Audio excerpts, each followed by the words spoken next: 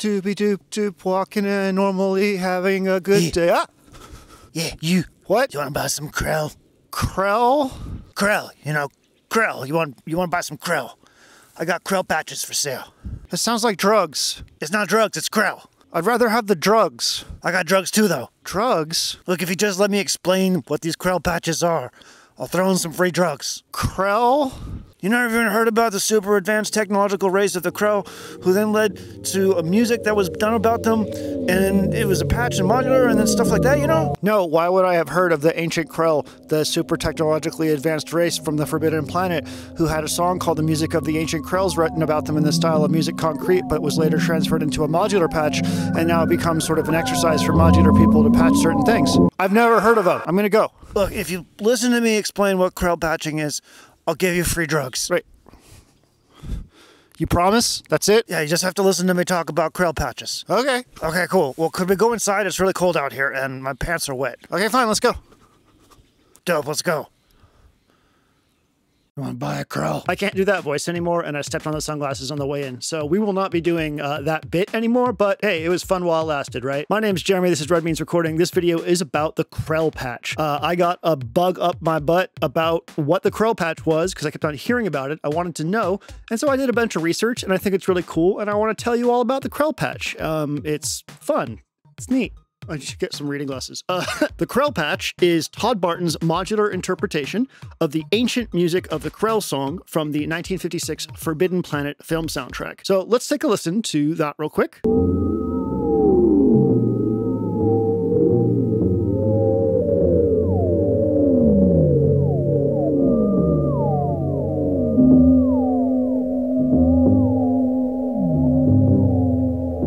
Stunning. It's beautiful. It's truly beautiful. Uh, an interesting thing about that was uh, the soundtrack wasn't actually done with modular gear. It was actually done in a style called music concrete, which is really, really interesting. Music concrete is a type of musical composition that utilizes recorded sounds as raw material.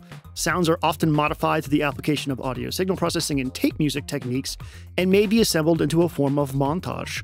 It can feature sounds derived from recordings of musical instruments, the human voice, and the natural environment, as well as those created using computer based digital signal processing. Compositions in this idiom are not restricted to the normal musical rules of melody, harmony, rhythm, meter, and so on. Using ideas and procedures from the book Cybernetics or Control and Communication in the Animal and Machine by the mathematician and electrical engineer Norbert Wiener, Louis Barron constructed his own electronic circuits that he used to generate the scores bleeps, blurps, whirs, whines, throbs, hums, and screeches. Most of these sounds were generated using an electronic circuit called a ring modulator. After recording the basic sounds, the Barrons further manipulated the sounds by adding other effects such as reverberation and delay and reversing or changing the speeds of certain sounds. Pretty neat, right? So you have sound generation and then you have like tape manipulation. Actually, I think the make noise microsound and tape modular system is a really great example of a little music concrete station if you wanted to play around with that. Uh, of course, there's other ways we can do it too. And now in DAWs these days, we can just go, you know, crazy with the whole concept. I think Andrew Huang's like, let's make a song out of a bicycle or a car kind of thing could also be considered a form of music concrete. So I don't know exactly why Todd Barton decided to reproduce ancient music of the Krells via a modular system. In fact, he used a Buchla system, which we'll talk about in just a second. Like all weird modular projects, it's kind of like, well, why not? You know, you get an idea in your head and you're like, can I do that?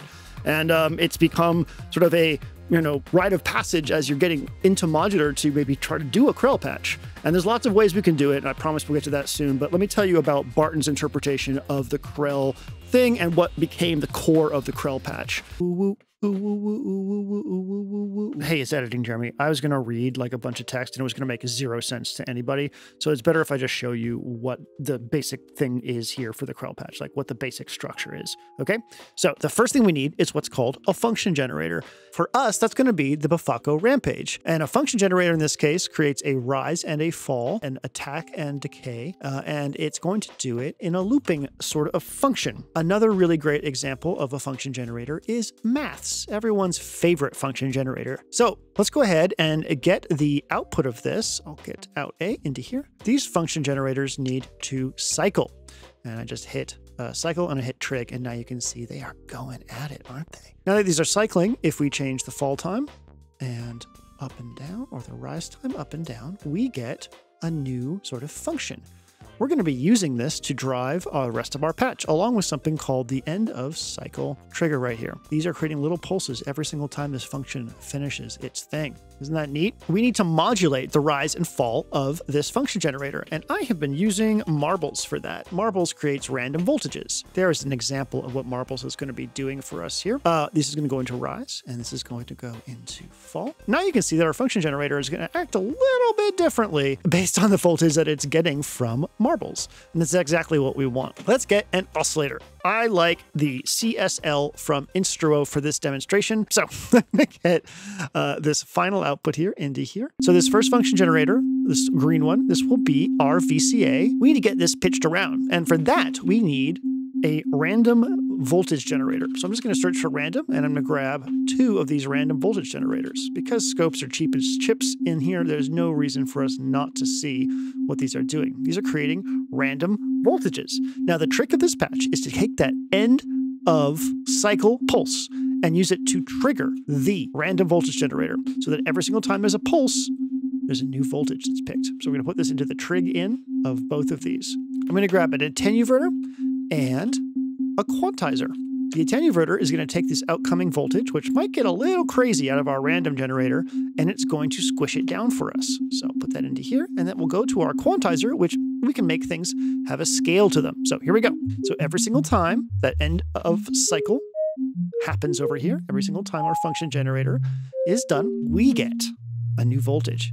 So all this stuff is starting to get related now, isn't it? The next step of this is timbre. And because this is a complex oscillator, there's a relationship between this bottom oscillator and the top one built into it. So I'm going to use our second random voltage here to drive that. And I'm going to smooth this one out over here.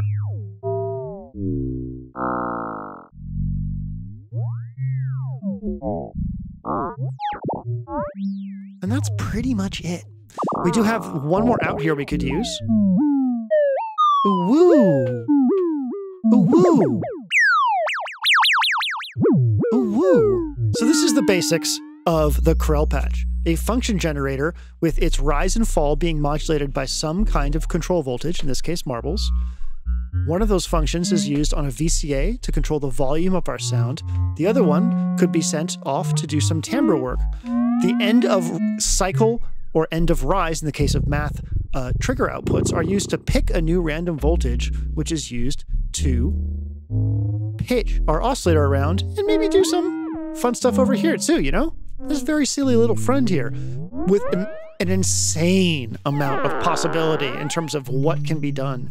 It's not supposed to be necessarily a super musical thing, though there are musical examples of the Krell, which we'll get into. This is its basis. It talks to itself. It can be a little friend.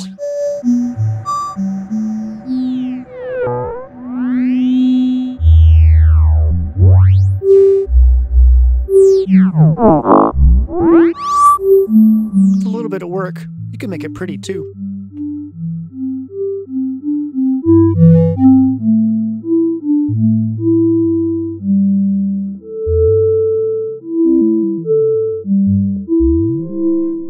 All right. So now that we understand this, let's get back to the other Jeremy, and uh, hopefully he'll have something interesting to tell you more.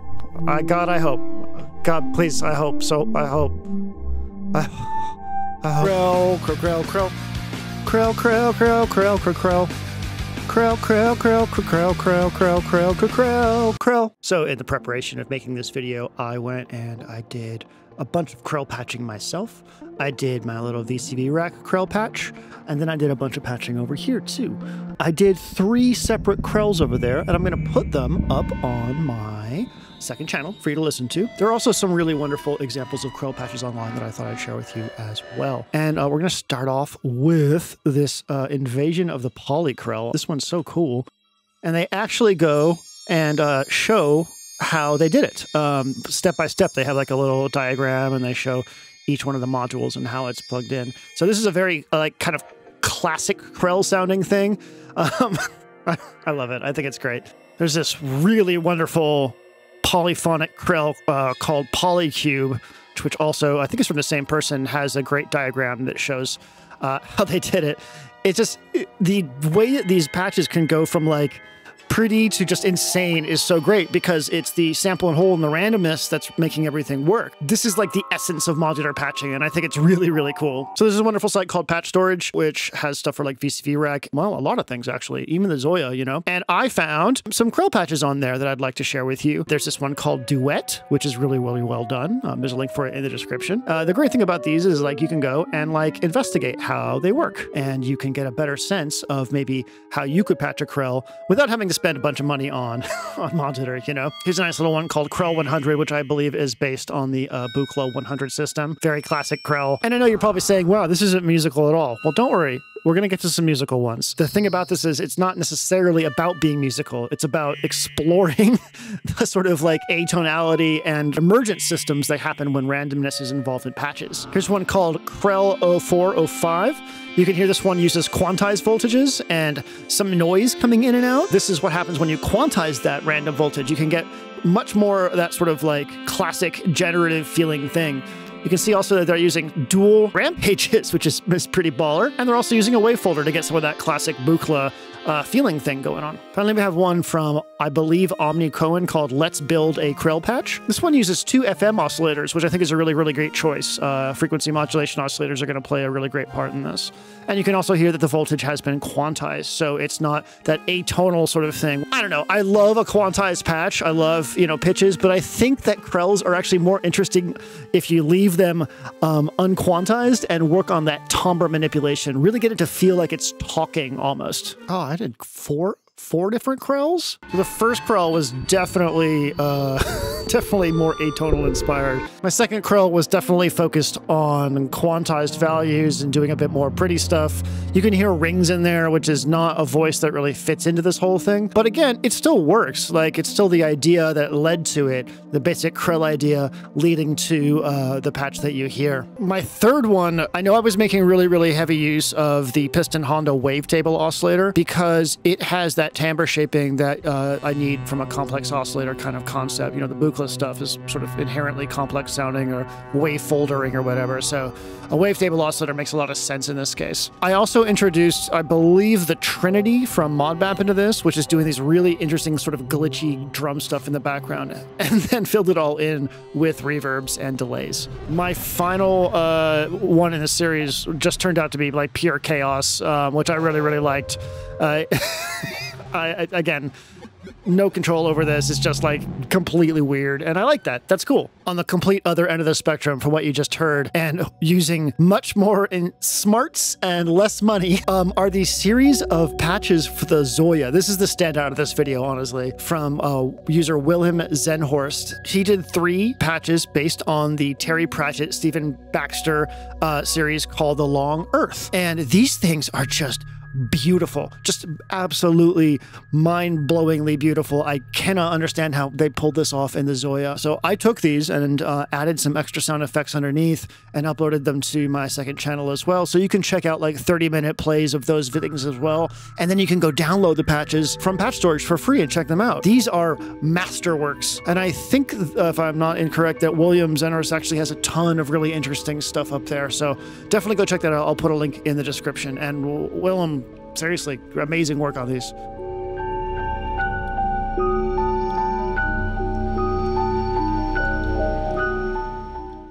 And finally, uh, while I was getting this video ready, I asked uh, James Cigler to do a Krell for us, and I'd like to kick it over to him and see what he has to say and listen to his Krell. Let's, let's do that.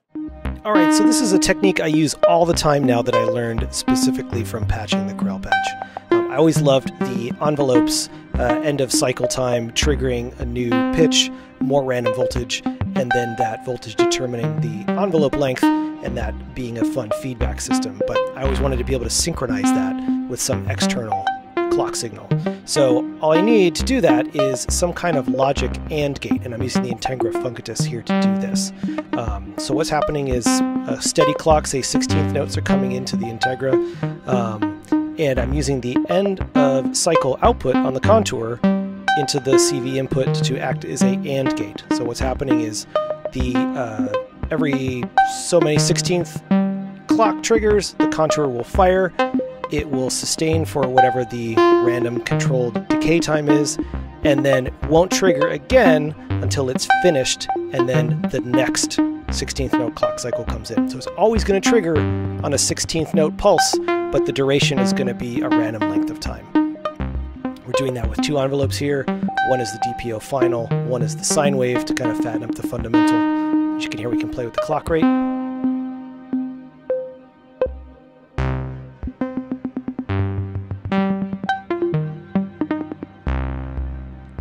And we patch our external drum machine in, instant grooves.